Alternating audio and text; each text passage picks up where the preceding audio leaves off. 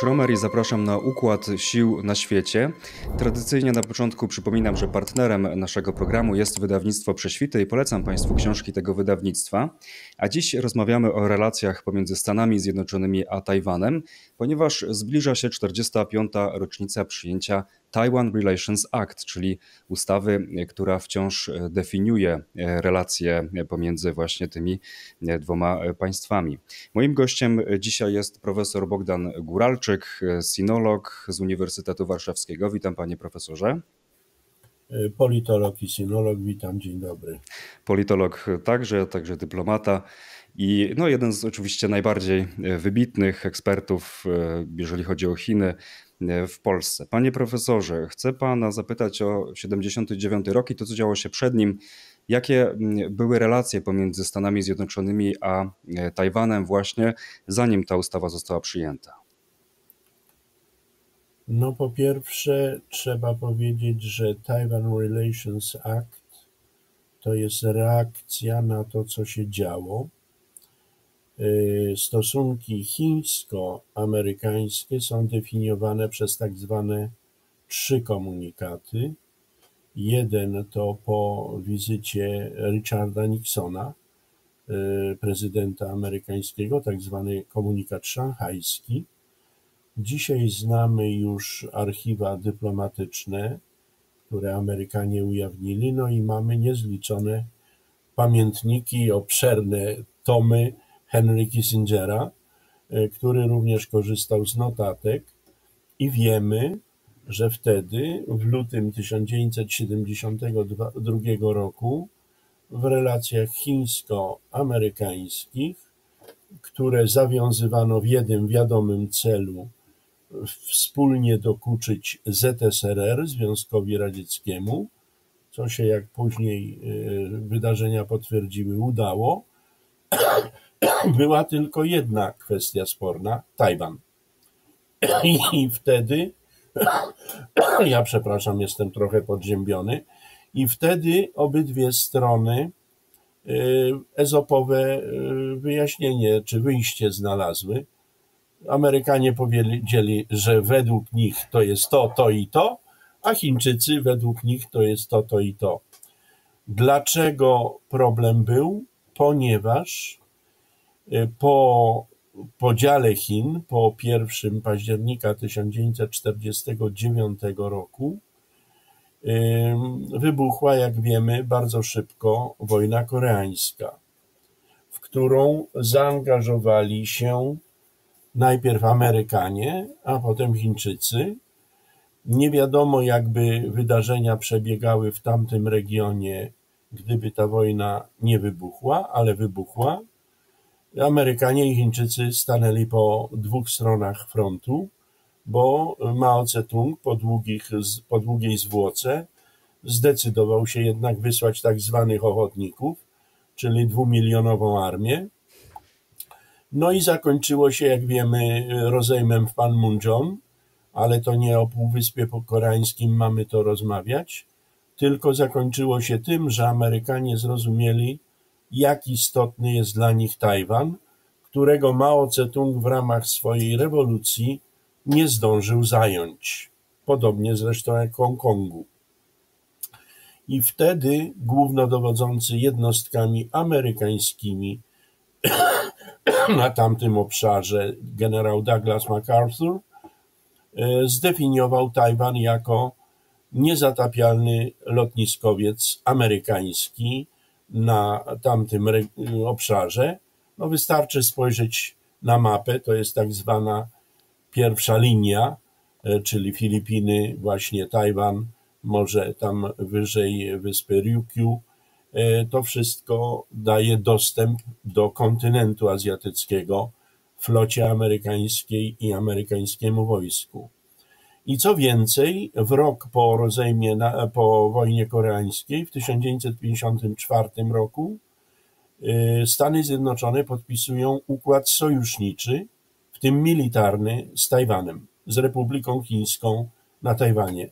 Stają się sojusznikami, a Tajwan w tym czasie po rozpadzie, e, po rozpadzie Chin HRL nie jest reprezentowana na scenie międzynarodowej, I to Tajwan Chiang Kai-sheka jest nie tylko w ONZ, ale stałym członkiem Rady Bezpieczeństwa ONZ. E, jest jednym z pięciu mocarstw.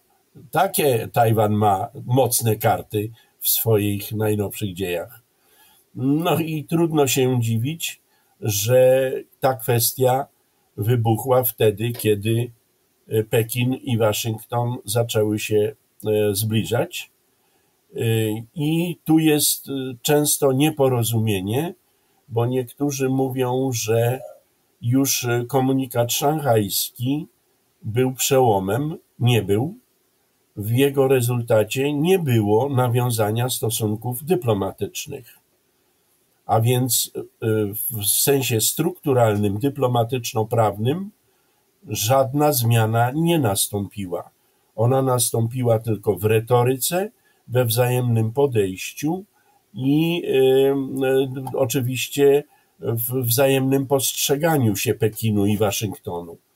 Natomiast prawdziwa zmiana nastąpiła po kluczowej wizycie doradcy bezpieczeństwa narodowego pre prezydenta Cartera, Zbigniewa Brzezińskiego w Chinach w maju 1978 roku. O tym z kolei Brzeziński w swoich pamiętnikach, które są dostępne i w języku polskim cztery lata w Białym Domu, wystarczy tamte strony przeczytać, żeby mieć świadomość, co się stało. I te porozumienia w czasie wizyty Brzezińskiego doprowadziły w pół roku później, że w grudniu 78 roku e, Chińska Republika Ludowa i Stany Zjednoczone wydały tak zwany drugi komunikat, bo pierwszy był szanghajski drugi komunikat o nawiązaniu stosunków dyplomatycznych między Chińską Republiką Ludową a Stanami Zjednoczonymi Ameryki. I tutaj e, już nastąpiła zasadnicza zmiana. Komunikat opublikowano 15 grudnia. E, stosunki nawiązano z dniem 1 stycznia 79 i nawiązanie tych stosunków, to wynegocjowała strona chińska, automatycznie spowodowało zerwanie tych stosunków z Republiką Chińską na Tajwanie. I oczywiście zerwanie tego sojuszu z 1954 roku, czyli mówiąc brutalnie, nastąpiło porzucenie sojusznika na rzecz wielkiej gry geostrategicznej. I to była, I to, panie profesorze, to pozwolę sobie wejść w słowo, to była decyzja administracji amerykańskiej, natomiast y, o ile mi wiadomo, właśnie odpowiedzią kongresu y, był, była ta ustawa. Właśnie do tego chciałem zmierzać. Tak, to, to właśnie Natomiast ta decyzja administracji wywołała ogromny ferment w amerykańskim kongresie, w obu izbach, i w Senacie, i w Izbie Reprezentantów, właśnie, że porzucono sojusznika. I w efekcie rozpoczęły się gorączkowe prace, co z tym fantem zrobić. I w wyniku tych prac 1 kwietnia, to nie prima aprilis, 1979 roku, a więc w kwartał po nawiązaniu stosunków oficjalnych z HRL, przyjęto, przyjęto Taiwan Relations Act, ustawę o stosunkach z Tajwanem, na mocy której Stany Zjednoczone zamierzają, podkreśliły to, utrzymywać nieoficjalne stosunki z Tajwanem, e, z tym, że nie wyjaśniono do końca wtedy kwestii relacji wojskowych. I dlatego do, do tych dwóch komunikatów dodawany jest jeszcze trzeci z 17 sierpnia 1982 roku, w którym to Amerykanie z, zagwarantowali sobie możliwość dostaw broni na Tajwan, wsparcia wojskowego.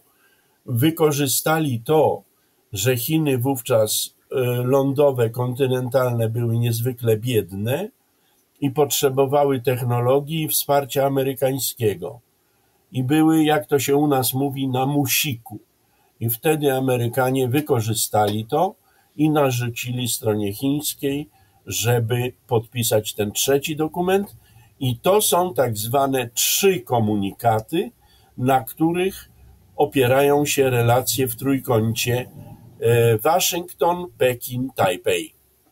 A Pana zdaniem, jakie są najistotniejsze zapisy właśnie tej ustawy Taiwan Relations Act? No, tak mówi się współcześnie, że właśnie z niej wyprowadza się e, tą tak zwaną strategiczną niejednoznaczność, którą Stany Zjednoczone zachowują, czy do niedawna przynajmniej zachowywały względem Tajwanu, to znaczy nie określają, jaka by była ich reakcja w pełni, gdyby Chiny zdecydowały się na zbrojną reunifikację właśnie Tajwanu.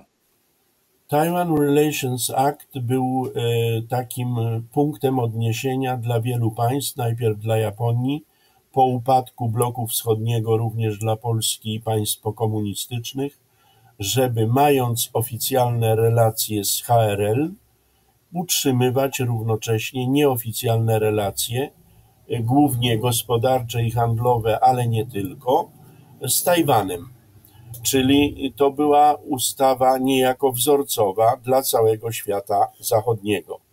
E, jak mówię, począwszy od Japonii, która najszybciej ten model przejęła. E, to jest pierwsza, e, pierwsze znaczenie tej, tej, tego ustawodawstwa. Drugie jest takie, że właśnie powstała strategic ambiguity, czyli strategiczna ambiwalencja, ponieważ Pekin konsekwentnie stosuje swoją odmianę doktryny Hallsteina. Doktryna Hallsteina była stosowana kiedyś przez Niemcy Zachodnie. Jeśli ktoś uznawał NRD, to nie miał stosunków z Niemcami Zachodnimi. E, I tu jest podobnie. Jeżeli ktoś uznaje Tajwan, to nie ma stosunków oficjalnych z HRL. E, w tym sensie ta ustawa e, Taiwan Relations Act umożliwiała obejście tego, żeby utrzymywać jak najbliższe relacje, ale bez e, nazywania tego po imieniu. Dlatego, kiedy pan w słowie wprowadzającym powiedział, i to jest w zasadzie normalne, ale niezgodne z prawem, stosunki między dwoma państwami, Tajwanem i Stanami Zjednoczonymi, bo dla, dla władz KRL Tajwan jest tylko prowincją, nie jest państwem, nie ma suwerenności. I trzecia rzecz właśnie, że Taiwan Relations Act nie uznaje suwerenności Tajwanu. Pozostawia to jako strefę domniemywań i na początku to grało, ponieważ zarówno Mao Tse-tung, jak potem jego silny następca Ten Xiaoping zostawiali w rozmowach z Amerykanami, co, na co mamy dowody w, w archiwach dyplomatycznych już otworzonych, że zostawiali kwestię Tajwanu do rozwiązania następnym pokoleniom. I wygląda na to, że obecny przywódca Chin, Xi Jinping, uznał, że już następnym pokoleniom tej kwestii y, rozwiązywać nie należy, że to jego pokolenie, a być może on sam ma tę kwestię zamknąć i rozwiązać, oczywiście po myśli Pekinu, co nie jest koniecznie, a nawet na pewno niezgodne z myślą i w Waszyngtonie, i tym bardziej w Tajpej. No właśnie, bo William Burns, e, szef CIA, powiedział mm, jakiś czas temu, że Chiny w 2027 roku osiągną militarną właśnie zdolność e, podboju czy zajęcia Tajwanu, ale powiedział, że nie jest to oczywiste, czy się na to zdecydują. E, pana zdaniem to jest realne, że właśnie taka sytuacja nastąpi? Xi Jinping, kiedy doszedł do władzy pod koniec 2012 roku, natychmiast rzucił hasło chińskie marzenie, chiński sen Chinese Dream, czyli miał być kiedyś w XX wieku American Dream, a teraz ma być Chinese Dream. I ważną, integralną częścią tego chińskiego marzenia jest wielki renesans narodu chińskiego, do którego ma dojść do 2049 roku czy 50. Że Chiny znowu, jak przed wiekami bywało, będą wielką, kwitnącą cywilizacją, tyle że o socjalistycznym charakterze, cokolwiek by to nie znaczyło. No i jest więcej niż oczywiste, że nie będzie żadnego wielkiego renesansu narodu chińskiego, bo ten naród chiński, czego państwo Chunhua Minzu, y, to w rozumieniu Chińczyka wykształconego, to jest jak nasza dłoń. Y, jest narodowość Han, 92% wszystkich Chińczyków obywateli HRL, czyli jest 8% z miliarda 400 milionów czyli ponad 100 milionów, trzy Polski to są mniejszości narodowe i one tworzą też Czunhua Mincu, czyli tam są Mongołowie, bo kiedyś była dynastia mongolska, Yuan, tam są Tybetańczycy, którzy wcale niekoniecznie czują się Chińczykami, jak wiemy, kulturowo są bliżej Indiom niż Chinom. Tam są Mandżurowie, bo była dynastia mandżurska i tam jest wreszcie Hui, czyli najczęściej Ujgurzy, ale też muzułmanie. I ten renesans ma nawet Ujgurów, e, Tybetańczyków i Mongołów obejmować. To jak ma nie objąć Tajwanu? I w tym sensie nie będzie żadnego renesansu, jeśli po obu stronach cieśniny tajwańskiej są organizmy, twory, bo nie państwa w rozumieniu Pekinu, E, z Chinami w nazwie, bo po jednej stronie HRL, czyli Chiny ludowe, komunistyczne czy kontynentalne, a po drugiej stronie Republika Chińska na Tajwanie, będąca kontynuacją kiedyś rządów Chiang Kai-sheka. I to przepraszam bardzo za mój głos. I to jest pierwszy wymiar odpowiedzi na pańskie pytania, ale jest jeszcze drugi znacznie głębszy. Otóż Xi Jinping jest urodzony w 1953 roku. No to nie trzeba być, y, nie trzeba mieć y, krystalicznej kuli, żeby zrozumieć, że y, tego wielkiego renesansu chińskiego narodu może nie doczekać do 2049 roku. Dlatego zwracałbym uwagę że on, jak już kończył drugą kadencję, bo już jest ponad 10 lat przywódcą, a w tej chwili już jedynowładcą w Chinach,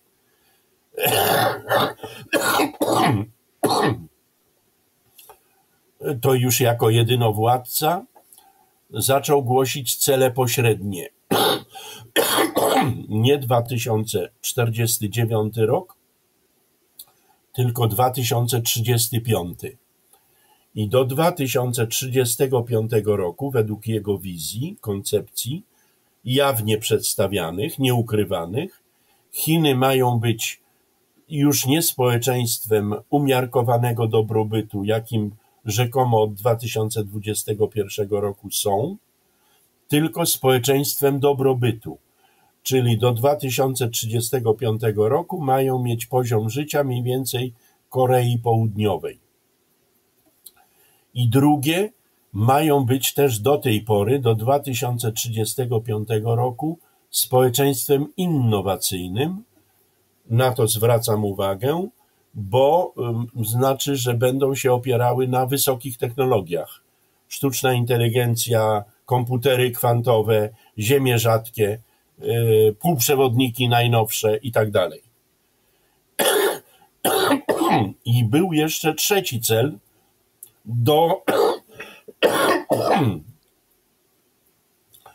do 2035 roku, że do tego roku ma być zmodernizowana chińska armia, a szczególnie jej flota powietrzna i morska. I ten trzeci cel przyspieszono do 2027 roku, e, bo jest to stulecie chińskiej armii ludowo-wyzwoleńczej, bo ona kiedyś zaczynała jeszcze za mało jako partyzantka. I stąd cytowany przez pana szef CIA i inni amerykańscy strategzy, wojskowi, analitycy uważają, przychylam się do tej opinii, że rok 2027 może być tu kluczowy. I wreszcie trzecia rzecz w odpowiedzi na to, co Pan poruszył, że Chiny to nie jest cywilizacja bojarska rosyjska. One nie pójdą, że tak powiem bardzo niepopularnie i nie po profesorsku, na rympał, czyli nie uderzą na oślep. To będzie próba wycieńczania przeciwnika, wyczerpywania go, jego izolacji, jakiejś blokady. Może być dziesiątki sposobów, a nie ruszenie od razu flotą powietrzną czy morską amfibiami, żeby Tajwan zająć. Panie profesorze, pan powiedział o tym spojrzeniu na narodowość chińską, e, szczególnie właśnie Chin kontynentalnych. Ale pan jest też osobą, która zwróciła w, e, uwagę na to właśnie w polskiej debacie, że na Tajwanie kwestia narodowości i przynależności do narodu chińskiego nie jest taka oczywista. Część mieszkańców wyspy się oczywiście uważa za Chińczyków, część za Chińczyków i Tajwańczyków, a część, e, i to spora część, po prostu już za nowy naród, za Tajwańczyków. Więc pytanie właśnie, czy to tym bardziej nie zbliża do jakiegoś rodzaju militarnej reunifikacji, bo ta perspektywa zbliżenia pokojowego, która kiedyś była przez Chiny podkreślana w oficjalnych dokumentach, teraz jest z nich wykreślana, właśnie no, nie jest bliska, jest coraz dalsza albo wręcz niemożliwa. Bardzo ważne jest oczywiście, bo o tym nie mówiliśmy, więc teraz trzeba temu poświęcić uwagę, co się dzieje na Tajwanie. Tajwan jest samodzielnym bytem od 1949 roku. No to są, lekko mówiąc, 3-4 generacje. I od 1988 roku, porównywalnie z Polską, Tajwan jest demokracją, bo wcześniej był tam stan wojenny non-stop z komunistycznym diabłem zresztą. W tym sensie Tajwan zyskał tożsamość, odrębność i ukształtował się zupełnie inaczej i jest dobrze funkcjonującą demokracją w cywilizacji konfucjańskiej. Kiedyś mówiło, mówiono, że to nie jest kompatybilne. Okazuje się, że może działać i to całkiem dobrze. I niewątpliwie z punktu widzenia Tajwanu e, kluczowe było doświadczenie pandemii i demonstracji w Hongkongu 2019-2020, kiedy widzieliśmy te masowe ruchy, e, które ostatecznie Pekin stłamsił i narzucił Hongkongowi swoje ustawodawstwo. Tajwan zrozumiał, że formuła jeden kraj, dwa systemy, na mocy której wcześniej w 1997 roku HRL przejęła suwerenność prawa nad y, kolonią brytyjską, że to nie jest żadne rozwiązanie. I równocześnie badania socjologiczne i opinii publicznej na Tajwanie pokazują jednoznacznie, że ilość osób opowiadających się za zjednoczeniem z e, Chinami kontynentalnymi spadła do, do jednocyfrowej liczby 6-7 maksimum procent. E, jeśli chodzi o tożsamość, to to jest bardzo skomplikowane, bo jeśli ktoś na Tajwanie był, to tam będzie zaskoczony, że są co najmniej w trzech językach nazwy stacji czy metra, bo jest y, Kuoi, czyli język ten, który my nazywamy mandaryńskim Putonghua, y, czyli ten chiński oficjalny, ale Tajwańczycy to są głównie Chińczycy z południa Chin. Oni mówią albo Hakka, albo nam taki południowy dialekt. Czyli tam są różne narzecza, różne podłoża, różne korzenie. Y, I jeszcze jest trochę na Tajwanie aboryganów, autochtonów. Niewielu, ale jest. W tym sensie tożsamość tajwańska jest już y, zupełnie ukształtowana i ona jest cywilizacyjnie chińska, ale prawno, międzynarodowo, politycznie jest już y, zupełnie odrębnym bytem. Na to zdecydowanie stawiają obecne władze. Podkreślmy to, bo to ważne, że w styczniu tego roku były wybory na Tajwanie. Na ich mocy 20 maja obejmie władzę nowa administracja E, ale będzie kontynuacją rządów Demokratycznej Partii Postępowej, czyli tej, która e, nie opowiada się za zbytnim daleko idącym zbliżeniem z Chinami kontynentalnymi, e, z tym, że ostrożnie nie ogłasza też suwerenności, bo wie, że taki akt, taka, takie wypowiedzenie byłoby casus belli dla władz w Pekinie, bo władze w Pekinie w 2005 roku w marcu przyjęły jeszcze jeden niezmiernie ważny dokument, tak zwaną ustawę antysecesyjną, że gdyby Tajwan ogłosił niepodległość albo suwerenność, to Chiny gwarantuj, zagwarantowują sobie możliwość użycia wszelkich środków, w domyśle z militarnymi włącznie, żeby do tego nie doszło. Czyli po stronie Pekinu e, z jednej strony jest ambiwalencja, ale z drugiej strony jest twarda pała, że jeżeli by stan obecny uległ zmianie, to oni e, zagwarantowali sobie, czy umożliwili uderzenie y, w każdy możliwy sposób. Muszę jeszcze Pana zapytać o kwestię najnowocześniejszych technologii, mianowicie półprzewodników. Wiadomo, że właśnie y, światowa produkcja tej najwyższej y, klasy chipów jest zlokalizowana na Tajwanie. I w jaki sposób to wpływa zarówno na postawę Chin? Mówił Pan o tym, że Chiny także chcą przodować w technologiach, więc z jednej strony być może E, to by zachęcało je do tego, żeby w jakiś sposób zdominować Tajwan, no bo ta produkcja mogłaby być przez nie przejęta.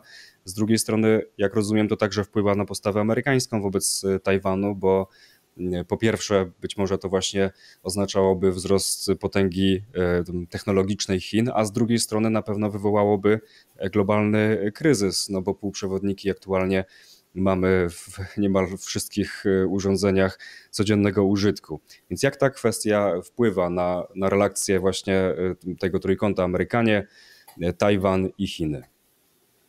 Wpływa ogromnie i będzie wpływała jeszcze bardziej, bo Tajwan, o czym Państwo wiecie, prześwity wydały cudowną książkę Chrisa Millera Wielka wojna o chipy i wiemy y, chociażby z tej lektury, że y, TSMC, Taiwan Semiconductors Manufacturing Company, to jest monopolista na te najmniejsze, najczulsze, najwrażliwsze, a tym samym najlepsze i najbardziej poszukiwane y, półprzewodniki. Ma 90 parę procent, 92% światowej produkcji.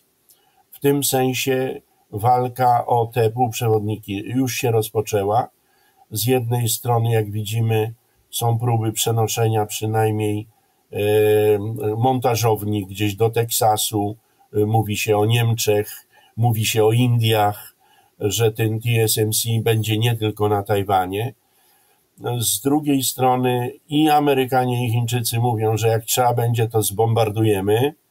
Są takie wypowiedzi, czyli wtedy sprawdzi się jedno, że gdyby doszło do zderzenia wokół Tajwanu już kinetycznego Amerykanów z Chińczykami, to sprawdzi się moje no, powiedzenie przywiezione y, z ambasatury w Azji Południowo-Wschodniej. Tam, gdzie dwa słonie walczą, tam trawa na pewno będzie zdeptana, czyli my wszyscy ucierpimy i dlatego ta rozgrywka jest tak niezmiernie ważna. E, ta rozgrywka jednak się toczy i będzie toczyła. I w tym kontekście, kiedy mamy tę okazję, że rozmawiamy, to uczulam Pana i Państwa, naszych odbiorców, że e, teraz, e, w najbliższych dniach po naszej rozmowie, na teren Chin kontynentalnych po raz drugi na dwa tygodnie przyjedzie były prezydent Tajwanu, Ma Ying-jeou, który był do czasów Demokratycznej Partii Postępowej i pani Tsai Ing-wen do 2016 roku. I już wiadomo, że w tej wizycie, która będzie drugą, bo poprzednią miał w kwietniu 2023 roku, raz jeszcze będzie odwoływał się do żółtego cesarza, do wspólnych korzeni cywilizacyjnych, że my z Tajwanu jesteśmy y, jedną cywilizacją. To już się rozgrywka rozpoczyna na całego, bo Kuomintang, który był kiedyś największym wrogiem komunistycznej partii, teraz jest tą siłą polityczną na terenie Tajwanu, która wie, że wymiera, bo oni przyszli, to są głównie uchodźcy, uciekinierzy, czy ci, którzy byli beneficjentami y, władzy Chiang Kai-sheka na terenie Chin kontynentalnych, że ich czas się kończy i będzie niewątpliwie próba rozegrania Kuomintangu w tej rozgrywce. Y, bardzo na to uczulam. Równocześnie Tajwańczycy to też Chińczycy. Oni rozumieją, co może im, jaki fortel może im Pekin przygotować.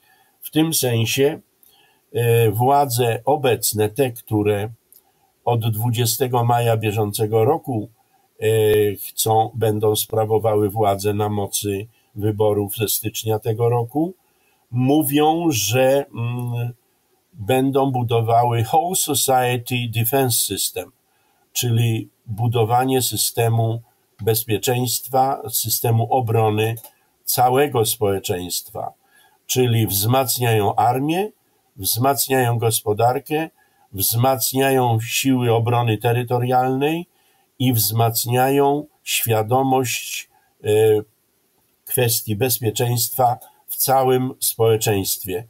E, nie jest to jeszcze zapowiedź e, zachowania się w oblężonej twierdzy, ale coś na, w tym stylu. I równocześnie e, zacieśnia się, zacieśniają się i to wyraźnie więzi, relacje między Tajwanem a Stanami Zjednoczonymi, ale też Europą. Są kraje jak Litwa, ostatnio Czechy, które bardziej stawiają na relacje z Tajwanem aniżeli HRL. E, to też trzeba śledzić. No i oczywiście niezwykle śledzi te wydarzenia Japonia, no bo przecież kiedyś ten Tajwan okupowała i jeśli ktoś jest na globie, kto rozumie, czym byłoby pokojowe zjednoczenie obu organizmów chińskich, to są Japończycy. Oni doskonale rozumieją już zawczasu, że gdyby do tego zjednoczenia doszło pokojowo, to automatem Chiny są numerem jeden w gospodarce, w handlu, no i również w wysokich technologiach. Dlatego tak ta rozgrywka jest teraz ważna i może się zdarzyć, że odciągnie uwagę Amerykanów na tamten obszar, a wtedy będą zwracali mniej uwagi na wschodnią flankę NATO, bez względu na to, co się będzie działo na terenie Ukrainy. Gdzie dwa słonie walczą, tam e, trawa na pewno będzie zdeptana. No mam nadzieję, że to nie będzie, e, nie będą to słowa prorocze dotyczące właśnie naszego regionu. E, panie profesorze, bardzo dziękuję za, za tę rozmowę, za podzielenie się z nami Pana ogromną wiedzą. Mam, na, mam uwag- nadzieję, że się trochę przydałem. Jak najbardziej, zawsze y, bardzo przyjemnie jest z Panem rozmawiać i zawsze ja się dużo dowiaduję. Myślę, że nasi y, widzowie podobnie. Profesor Bogdan Guralczyk, politolog, sinolog, y, ekspert do spraw Chin i nie tylko z Uniwersytetu Warszawskiego. Bardzo dziękuję za tę rozmowę jeszcze raz. Dziękuję bardzo. I dziękuję także, że Państwo byli z nami. Zachęcam także, żeby subskrybować kanał Układu Sił, jeżeli są Państwo zainteresowani taką tematyką. Nie podziękowałem, w podziękowaniach nie przeprosiłem za kaszlanie.